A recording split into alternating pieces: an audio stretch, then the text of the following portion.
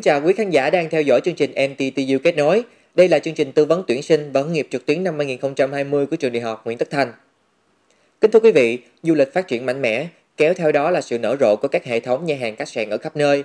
Theo thống kê của Hội đồng Du lịch Thế giới, tính đến năm 2022 sẽ có thêm khoảng 73 triệu việc làm trong lĩnh vực dịch vụ khách sạn du lịch. Do đó, khi chọn ngành quản trị khách sạn đại học, các bạn có thể yên tâm về cơ hội việc làm sau khi ra trường nhé.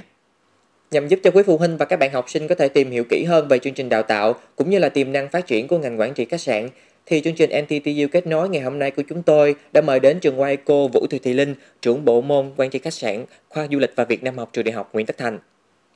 Các bạn thân mến, như thường lệ thì chương trình của chúng ta sẽ có hai phần, đó là phần tư vấn chọn ngành nghề của thầy cô và phần thứ hai là phần trả lời câu hỏi trực tiếp của các bạn gửi về chương trình. Vì thế khi chương trình đang diễn ra, nếu có bất kỳ câu hỏi nào liên quan đến ngành quản trị khách sạn, các bạn có thể đặt câu hỏi trực tiếp bằng cách để lại comment phía bên dưới hoặc inbox cho fanpage của trường đại học Nguyễn Tất Thành. Chúng tôi sẽ giải đáp thắc mắc cho các bạn ngay.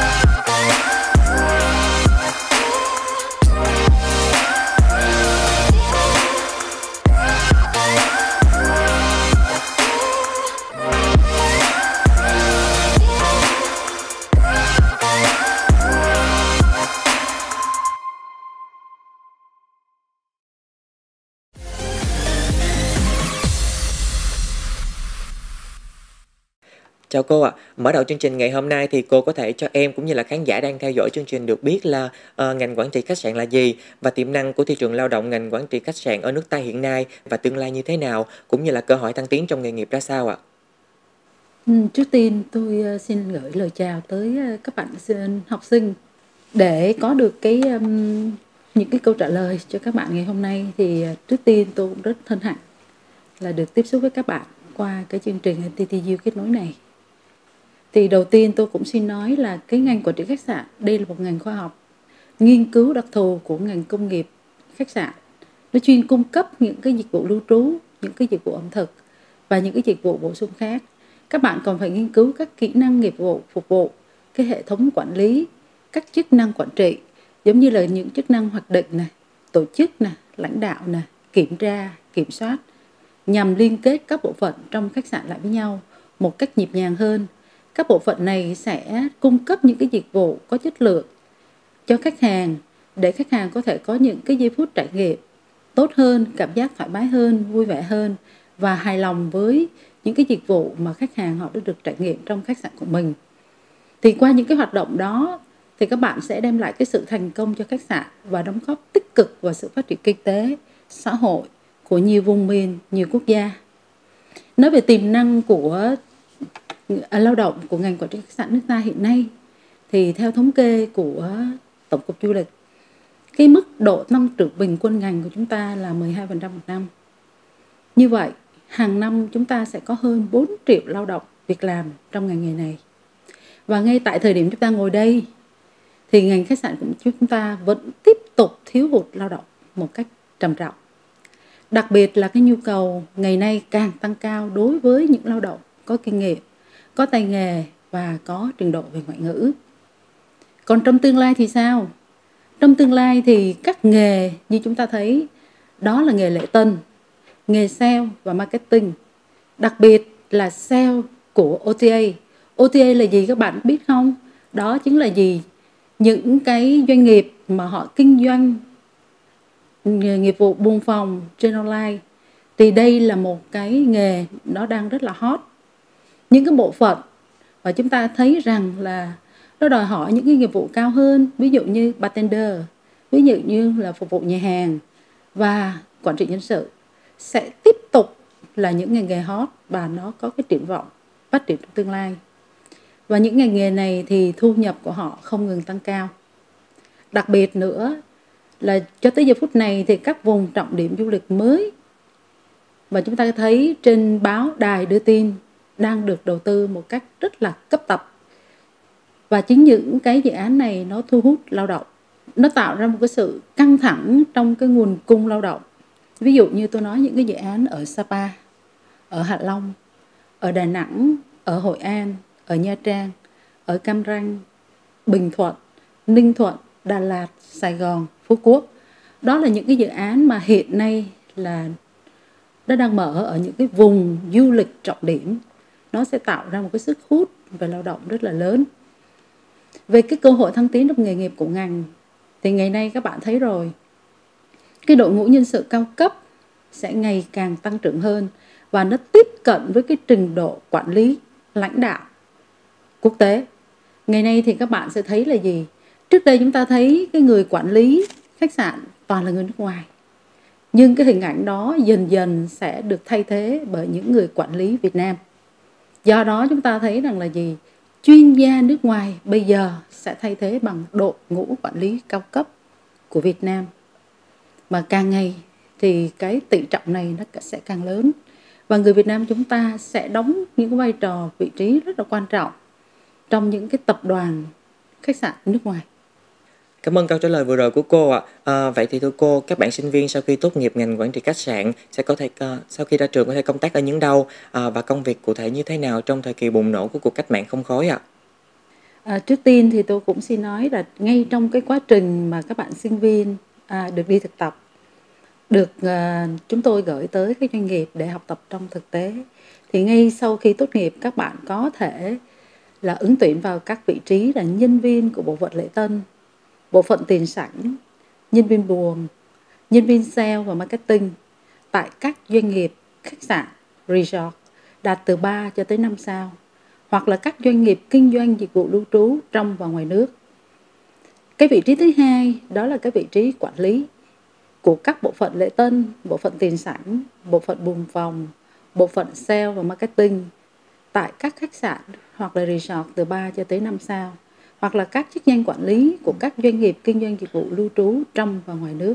Các vị trí chuyên gia quản lý ngành nghề tại các sở du lịch hoặc là các bạn tham gia giảng dạy tại các trường cao đẳng, các trường đại học trong nước có ngành nghề du lịch của chúng ta. Hoặc là đi xa hơn một chút xíu nữa thì các bạn có thể tham gia vào những cái lớp cao học, các bạn có thể đi lên tiến sĩ, các bạn làm những cái ngành nghề nghiên cứu thì đó là những cái vị trí công việc sau khi tốt nghiệp các bạn sẽ làm được những cái vị trí ở những cái vị trí đó là ngành học hấp dẫn với cơ hội làm việc mở rộng. Tuy nhiên thì cũng giống như những ngành nghề trong lĩnh vực dịch vụ khác thì uh, ngành quản trị khách sạn chỉ phù hợp với những bạn trẻ còn năng động, có sức khỏe và ngoại hình chứ không phù hợp để gắn bó lâu dài. Vậy thì cô suy nghĩ như thế nào về vấn đề này ạ?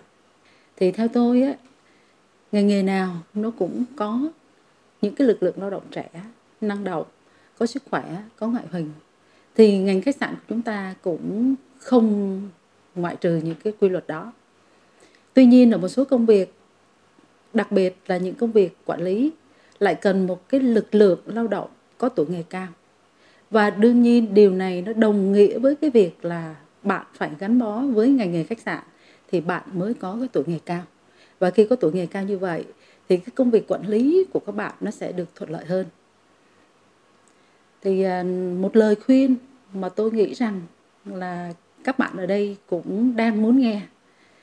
Cái việc gắn bó lâu dài với cái ngành nghề của các bạn nó phụ thuộc vào cái việc bạn tìm hiểu và cùng tôi trả lời những cái câu hỏi sau đây. Cái thứ nhất, bạn có thích làm việc trong môi trường ngành nghề khách sạn không? Thì tôi xin trả lời như thế này. Cái việc đầu tiên và quan trọng nhất là cái môi trường làm việc trong khách sạn là một trường văn minh, lịch sự sạch sẽ và không có căng thẳng quá mức. Để để được cái gì bạn cảm thấy được cái sự thoải mái, khiến cho bạn vui và dễ chịu trong khi bạn làm việc. Bạn sẽ làm việc hăng say hơn và có cái cống hiến, có cái sự thành công hơn. Và lâu dần, những cái này nó sẽ hình thành một cái niềm đam mê trong công việc, khiến bạn sẽ gắn bó hơn với khách sạn. Đó là cái thứ nhất. Cái thứ hai cái ngành nghề khách sạn có triển vọng không? Thì rõ ràng như là cái câu đầu tiên tôi đã khẳng định với các bạn rằng cái triển vọng ngành nghề của khách sạn là vô cùng lớn. Thành ra chúng ta tìm hiểu những cái công việc. Đây là cái bước đầu tiên, giúp cho bạn xác định được mình có phù hợp với cái ngành khách sạn hay không. Đôi khi có những lúc bạn phát hiện ra rằng mình có thể gắn bó lâu dài với nghề, hoặc là mình chợt nhận thấy rằng mình không gắn bó được điều đó có nghĩa là gì? Bạn chưa tìm hiểu kỹ về ngành nghề. Một cái ngành trong đó có rất nhiều nghề. Ngành là ngành khách sạn, nhưng trong ngành đó có rất nhiều nghề. Và bạn phải là gì? Nắm được những cái thông tin về những cái nghề đó trong cái ngành của mình để bạn chọn. Thì bạn sẽ càng nhạy bén hơn với những cái xu hướng phát triển của ngành nghề đó để bạn hội nhập và bạn quyết định là mình có gắn bó hay không. Một điều nữa mà tôi nghĩ rằng là các bạn sinh viên ra trường đều quan tâm tới đó là xem xét về cái tiềm năng thu nhập. Thì cái niềm tiềm năng thu nhập ở đây nó sẽ như thế nào? Đương nhiên là tôi thấy rằng là một cái vấn đề mà các bạn gặp phải, đó là gì? Cái lương, cái thu nhập khi chúng ta sống với nghề này có đủ cho cuộc sống của chúng ta hay không? Đó là vấn đề mà các bạn ở đây đều quan tâm tới. Đôi khi mình yêu thích ngành nghề, mình rất thích, nhưng thu nhập đó không đủ để cho các bạn ở lại với nghề. Thì đây là một cái thông tin tôi cung cấp cho các bạn để các bạn có thể là có cái cơ sở để gắn bó với nó. Thì theo cái khảo sát vào tháng 3 của năm 2019 tại thành phố Hồ Chí Minh, từ các trang web về việc làm, ví dụ như là vietnamwork.com hoặc là careerbuilder.com hoặc là mywork.com thì họ đưa ra một cái số liệu để chúng chúng ta thấy cái um, cái mức lương dành cho những cái vị trí trong cái ngành khách sạn của chúng ta. Ví dụ như là gì? Mức lương nhân viên trong ngành khách sạn của chúng ta nó sẽ dao động từ 5 cho tới 7 triệu. Mức lương của một vị trí công tác là giám sát nó dao động từ 8 cho tới 10 triệu mức lương của quản lý bộ phận dao động từ 15 cho tới 20 triệu và mức lương của người quản lý cấp cao là từ 25 triệu trở lên. Thì như vậy, các bạn thấy tiềm năng thu nhập của ngành của chúng ta như thế nào? Thì các bạn tự sẽ quyết định lấy. Một vấn đề nữa, đó là cái nghề của mình có phù hợp với lối sống của bạn hay không? Thì bên cạnh cái mức lương mà nhận được như vậy thì bạn quan tâm đến cái yêu cầu công việc và tần suất công việc có phù hợp với nếp sống hiện nay của mình hay không? Thì tôi nghĩ rằng là các bạn có cái yếu tố trẻ, năng động thì các bạn lại thích cái môi trường làm việc nó như thế này. Một phần nữa mà tôi nghĩ rằng nếu các bạn muốn gắn bó với nghề thì các bạn phải thấy được những cái khó khăn nó đang chờ đợi chúng ta ở phía trước khi chúng ta theo đuổi ngành nghề đó. Những cái công việc khác nhau, đương nhiên nó sẽ có những cái rào cản khác nhau. Và chúng ta hãy xem xét thử xem, chúng ta sẵn sàng có nỗ lực để chúng ta vượt qua được những cái rào cản đó hay không? Và nếu chúng ta đã quyết định để chúng ta sẵn sàng đối diện với những cái rào cản đó, đối với những cái thách thức đó, thì chúng ta hãy trang bị cho mình những cái yếu tố cần thiết để đáp ứng cho cái ngành nghề đó. Cùng với những cái điều như tôi nói vừa trên, thì chúng ta đừng quên là gì? Tìm hiểu cái xu hướng thay đổi ngành nghề của mình đang theo đuổi để chúng ta có một cái kế hoạch lâu dài để gắn bó và phát triển bản thân trong tương lai, trong cái nghề chúng ta đã chọn mỗi ngành nghề đều có những yêu cầu riêng để đảm bảo người học cũng như là người làm việc có thể phù hợp và thích ứng được với tính chất của công việc. Thì ờ, với ngành quản trị khách sạn thì sao thu cô? À, để có thể làm việc tốt và học tốt thì các bạn sinh viên cần có những tố chất và kỹ năng gì ạ? Những cái tố chất và những cái kỹ năng cần có của một người làm nghề khách sạn đã được khoa chúng tôi đưa vào trong chương trình đào tạo của ngành quản trị khách sạn và cụ thể hóa nó thành các chuẩn đầu ra của từng môn học cụ thể thì bạn hoàn toàn có thể trở thành một nhà quản trị trong tương lai nếu bạn có những cái tố chất như sau. Thứ nhất, đức tính trung thực. Thứ hai, không ngại khó, thích làm việc nhóm, sẵn sàng làm thêm giờ, vì sao tính thời vụ trong khách sạn nó đòi hỏi chúng ta phải có cái tố chất này. Thứ ba là các bạn mong muốn làm thêm, đem lại những cái dịch vụ vượt trội cho khách hàng. Cái thứ tư có khả năng giao tiếp tốt bằng tiếng Việt và bằng tiếng Anh hoặc một ngoại ngữ nào đó. Và cái cuối cùng là bạn phải có cái quyết tâm tạo được sự bất ngờ trong phong cách phục vụ. Đó là những cái tố chất mà theo tôi là rất cần thiết cho một người thực hiện cái ngành nghề khách sạn. Về kỹ năng, thì cái này nó cũng nằm trong chuẩn đầu ra của chương trình đào tạo của ngành quản trị khách sạn của khoa chúng tôi. Ngoài các nhóm kỹ năng mềm thì chúng ta thấy rằng là trong chuẩn đầu ra của chương trình đào tạo yêu cầu chúng ta có hai nhóm kỹ năng thuộc về kỹ năng mềm nhóm thứ nhất là nhóm kỹ năng làm chủ công việc bao gồm những kỹ năng gì kỹ năng thứ nhất là giải quyết vấn đề kỹ năng thứ hai là kỹ năng quản lý thời gian và kỹ năng thứ ba là kỹ năng tìm kiếm công việc đó là nhóm kỹ năng thứ nhất người ta là nhóm kỹ năng làm chủ công việc nhóm kỹ năng thứ hai là nhóm kỹ năng văn phòng các bạn phải có đủ kỹ năng để các bạn làm việc trong một một cái văn phòng. Ngoài ra thì bạn có thể hoàn toàn trở thành nhà quản trị tương lai với các kỹ năng như sau. Thứ nhất, kỹ năng kỹ thuật. Kỹ năng kỹ thuật, đây là một kỹ năng nó liên quan đến cái việc sử dụng kỹ thuật để chúng ta áp dụng cho những cái chuyên môn kỹ thuật, áp dụng vào cái quá trình thực hiện nghề nghiệp của chúng ta. Áp dụng trong việc là gì? Các bạn thực hiện kế hoạch nào đó trong doanh nghiệp khách sạn. Kỹ năng thứ hai là kỹ năng nhận thức và kỹ năng tư duy. Kỹ năng nhận thức và kỹ năng tư duy đòi hỏi các bạn là phải thấu hiểu được bản chất của vấn đề, bản chất của chính sách, bản chất của chiến lược phát triển của cái công ty kinh doanh khách sạn. Và chúng ta có một cái khả năng phân tích, dự đoán cái điểm đến cho từng mục tiêu phấn đấu khác nhau của bản thân mình và của cái bộ phận mà mình phụ trách. Đồng thời, cái kỹ năng này nó cũng giúp cho bạn giảm được sự phức tạp, sự rắc rối trong công việc mà bạn xử lý được ở cái mức thấp nhất. Kỹ năng thứ ba là kỹ năng nhân sự. Kỹ năng nhân sự này nó bao gồm cả kiến thức về nhân sự và cái khả năng giao tiếp cũng như là khả năng thu phục lòng người của nhà quản trị. Thông qua những cái lời động viên trong công việc, thông qua những cái khả năng điều phối nhân sự. Và bên cạnh đó, cái điều quan trọng nhất của một người đứng đầu đó là gì? Chúng ta tham gia vào làm việc với nhân viên. Để chúng ta tạo được cái sự kết nối giữa các nhân viên với nhau và nâng cao được cái hiệu quả công việc. Thưa cô, vậy thì khoa du lịch và Việt Nam học trường Đại học Nguyễn Tất Thành đã có đào tạo như thế nào để phát triển nguồn nhân lực ngành quản trị khách sạn trong thời đại 4.0 ạ?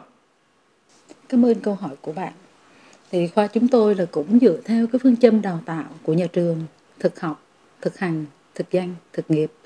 Do đó cái chương trình đào tạo của ngành nghề khách sạn của chúng tôi được xây dựng trên cái hướng là tiếp cận với năng lực về nghề và lấy người học làm trung tâm. Cái chương trình đào tạo này được xây dựng một cách bài bản, khoa học, đồng thời là chúng tôi có tham khảo với một số cái chương trình đào tạo của các trường đại học trong nước cũng như là các trường đại học có uy tín ở nước ngoài. Đồng thời với cái việc đó là chúng tôi có tham khảo cái bộ tiêu chuẩn nghề khách sạn quốc gia của Việt Nam và bộ tiêu chuẩn nghề VTOS được xây dựng bởi các nước châu Âu. Và dựa vào cái khung năng lực đào tạo nghề du lịch của cái khối ASEAN thì cái chương trình đào tạo ngành quản trị khách sạn đã được định kỳ, điều chỉnh nhằm đào tạo. Nó mang một cái tính thích hợp và chúng tôi cam kết của trường đối với xã hội là ra soát lại hai năm một lần chúng tôi sẽ điều chỉnh cho phù hợp với cái nhu cầu của xã hội. Đào tạo gắn với thực tế thì chúng ta thấy rằng nó gắn với nhu cầu của người sử dụng lao động. Thì cái việc mà chúng tôi xây dựng một cách cân đối về cái thời lượng lý thuyết và là thời lượng thực hành để chúng ta có thể thực hiện được cái việc là gì? Lý thuyết phải đi đôi với thực hành. Thì cái tính đảm bảo về cân đối giữa thời lượng lý thuyết và thực hành thì chúng tôi là ưu tiên hàng đầu. Ngoài ra, chúng tôi còn xây dựng một cái lộ trình học tập cụ thể cho sinh viên. Hơn nữa thì khoa đã quy tụ được một số cái đội ngũ giảng viên ưu tú có tay nghề cao, có kiến thức chuyên môn sâu, và đặc biệt là các giảng viên thực hành từ các doanh nghiệp, khách sạn từ 3 cho tới 5 sao về giảng dạy chung. Thì cái đội ngũ giảng viên này thì chúng tôi đã bao nhiêu năm nay là chúng tôi duy trì và bổ sung. Khoa thì có một cái hệ thống cơ sở vật chất kỹ thuật để cho sinh viên có thể thực hành và cái hệ thống này hiện nay nó có một cái mức độ hiện đại. Nó tương đương với chuẩn của một khách sạn 4 sao. Thì chuẩn của một khách sạn 4 sao thì hiện nay nó đang theo một cái chuẩn quốc tế. Thì trong này nó bao gồm là hệ thống nhà hàng, hệ thống khách sạn, hệ thống quầy bar và hệ thống bếp. Thì hiện nay Khoa đã liên kết với 100 doanh nghiệp để đưa các bạn sinh viên về học trong thực tế những cái môn, những cái học phần cụ thể nó gắn với thực hành nhiều hơn. Hơn nữa, Khoa có liên kết với một số các doanh nghiệp nước ngoài, cụ thể là liên kết với các doanh nghiệp Nhật Bản để đưa các sinh viên đi thực tập. Thì trong này nó có một cái chương trình là rất là hấp dẫn đối với các bạn sinh viên, đó là các bạn đi thực tập và có lương. Thì cái thời gian đi của các bạn sẽ là 6 tháng. Thì các bạn sẽ làm việc tại doanh nghiệp đó giống như một công nhân, giống như một nhân viên của khách sạn đó và các bạn được hưởng lương và sau cái thời gian đó thì cho tới giờ phút này thì khoa chúng tôi đã đào tạo được hai khóa và sinh viên hai khóa này hiện nay đã ký hợp đồng lao động với doanh nghiệp Nhật Bản này. Đó là một cái tín hiệu mà tôi muốn đưa đến cho các bạn ở đây để tìm hiểu rõ hơn cái công việc đào tạo của ngành quản trị khách sạn của chúng tôi. Hy vọng với những chia sẻ vừa rồi có thể giúp các bạn thí sinh nắm được những thông tin quan trọng về ngành học mà mình yêu thích, có thể đưa ra được quyết định đúng đắn về việc lựa chọn ngành nghề cũng như là thực hiện được ước mơ bước vào giảng đường đại học. Tiên Đạt xin được nhắc lại là trong khi theo dõi chương trình, nếu có bất kỳ câu hỏi nào liên quan đến ngành quản trị khách sạn, các bạn có thể đặt câu hỏi trực tiếp bằng cách để lại comment phía bên dưới hoặc inbox cho fanpage của trường đại học Nguyễn Tất Thành. Chúng tôi sẽ giải đáp thắc mắc cho các bạn ngay ạ. À.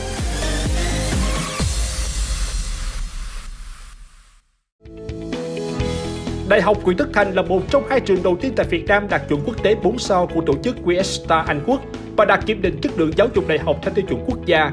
Chúng tôi cũng tự hào là ngôi trường đầu tiên tại Việt Nam ký cam kết việc làm với sinh viên, dựa trên liên minh chiến lược với hàng nghìn đối tác doanh nghiệp và viện nghiên cứu uy tín trong nước và quốc tế. Hiện nay, trường có hơn 20.000 sinh viên đang theo học tại năm khối ngành. Năm 2020, trường Đại học Nguyễn Tất Thành dự kiến thực hiện phương thức xét tuyển bao gồm xét tuyển theo kết quả kỳ thi Trung học phổ thông quốc gia, xét điểm học bạ trung học phổ thông, riêng khối ngành sức khỏe áp dụng theo chuẩn đảm bảo chất lượng đầu vào của Bộ Giáo dục và Đào tạo. Xét tuyển dựa trên kết quả kỳ thi đánh giá năng lực của Đại học Quốc gia Thành phố Hồ Chí Minh. Xét tuyển thẳng, ưu tiên xét tuyển đối với các thí sinh đạt giải cao trong các kỳ thi học sinh giỏi các quốc gia. Xét tuyển các thí sinh nước ngoài đủ điều kiện học tập, và theo diện cử tuyển.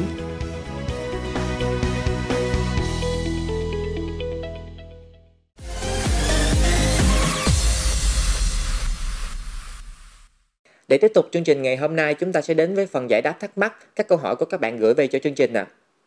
Câu hỏi đầu tiên gửi về từ một bạn có địa chỉ Facebook là Việt Anh. Cô cho em hỏi là nếu ra trường có bằng quản trị khách sạn thì có được làm quản lý ngay không ạ? À? Nếu chưa thì cần thêm bằng cấp và điều kiện gì ạ? À?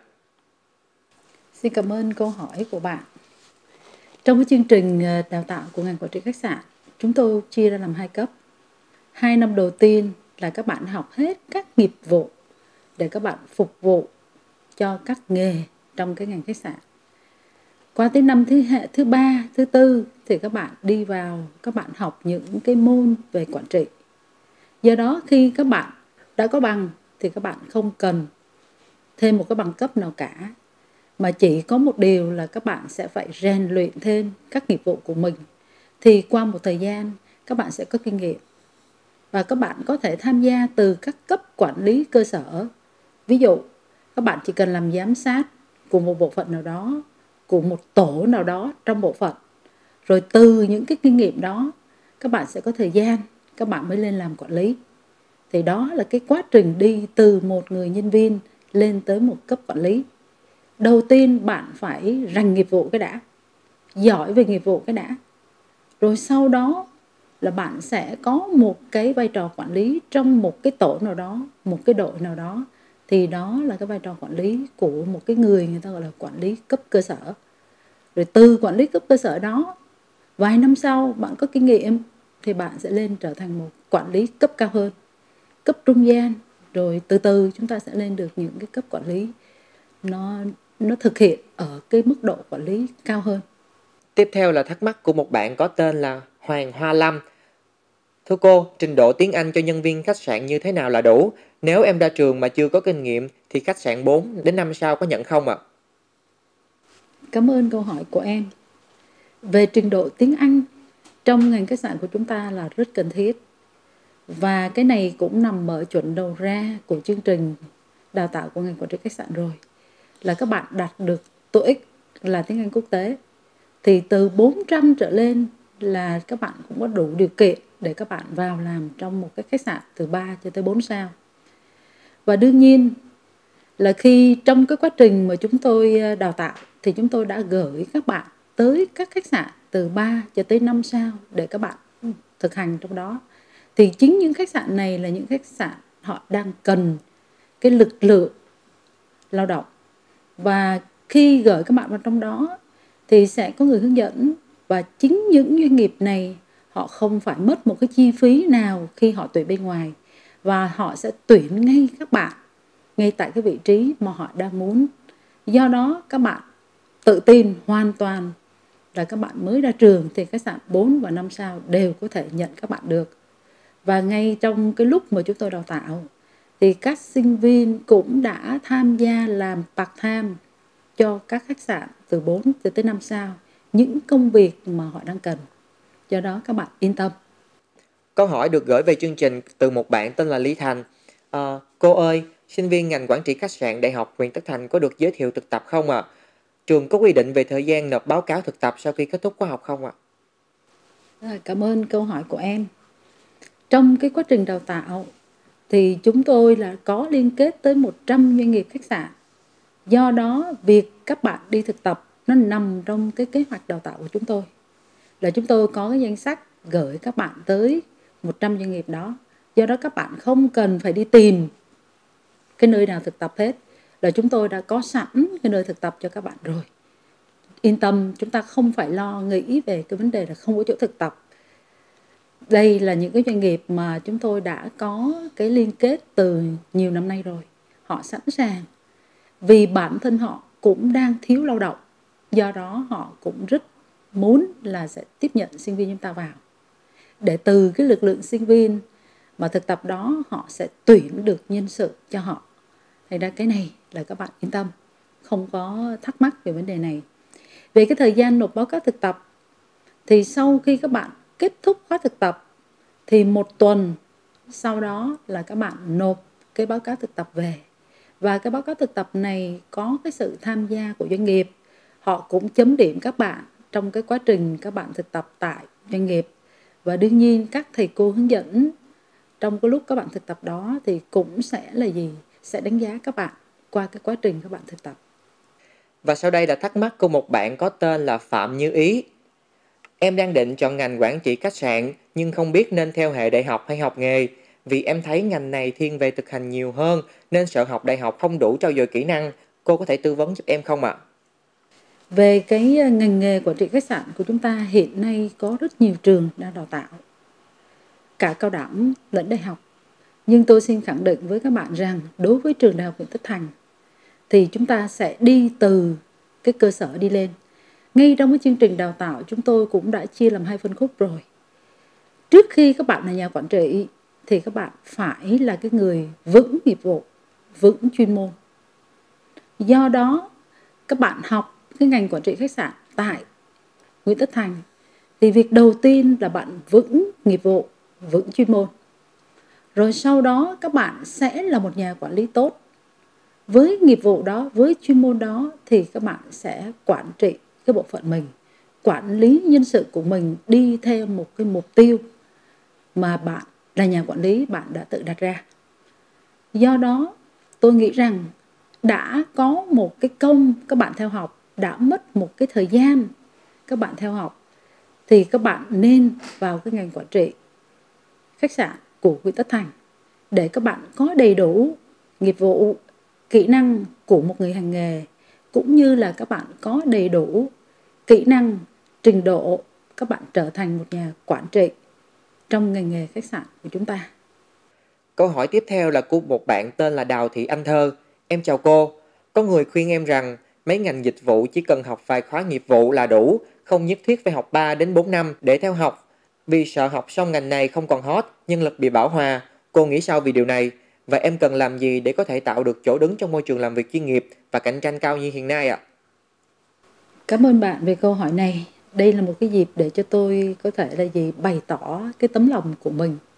Bởi vì hiện nay thì tôi cũng đang quản lý một cái khách sạn tầm 4 sao. Và theo cái kế hoạch mà nhà nước chúng ta đã vạch ra rồi, thì có những cái bước phát triển trong từng giai đoạn 1 tới năm 2030 thì vừa rồi là ngay đầu chương trình, các bạn đã thấy rồi, cái tiềm năng du lịch của chúng ta là vô tận. Cái nhu cầu đi du lịch của con người là vô tận và đa dạng. Và để phục vụ được cái nhu cầu đó, thì cần phải có nguồn nhân lực, có chất lượng. Và nếu bạn chỉ dừng lại một vài khóa nghiệp vụ không thì tôi chỉ nghĩ rằng bạn chỉ dừng lại ở chỗ là nhân viên chưa nghĩ tới cái việc là chúng ta sẽ bước hơn một bước cao hơn nữa trong ngành nghề, đó là nhà quản lý. Do đó, bạn chỉ học nghiệp vụ không? Thì bạn chỉ cung cấp được một số cái điều kiện cơ bản trong ngành nghề của chúng ta. Nhưng bạn chưa đáp ứng được cái điều kiện đủ để một khách sạn đạt ở cái tầm chất lượng quốc tế do đó, nếu bạn đã chọn ngành nghề này, thì tôi khuyên bạn nên học một cái chương trình của đại học dài hơi. Nó tầm từ 3 cho tới 4 năm, cũng là một thời gian học, cũng là một cái nguồn lực mà gia đình mình bỏ ra.